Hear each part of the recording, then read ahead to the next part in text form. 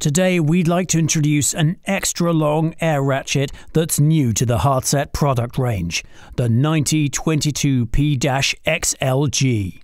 With a length of 550mm, it's a specialist tool for accessing hard to reach bolts. This air ratchet features a half inch square output. The operating lever is located on the cold insulated handle that houses an air exhaust that can be rotated 360 degrees. This tool requires 99 litres of air per minute at 6.3 bar. This air ratchet provides up to 95 newton meters of tightening torque.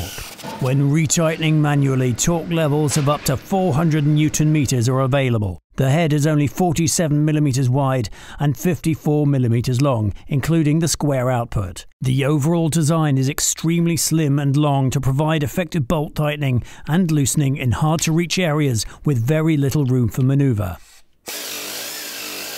This air ratchet is ideally suited to applications such as installation and removal of timing chain covers or working on drive shafts. The 9022P-XLG is our specialist tool for bolts that otherwise would be very difficult to reach.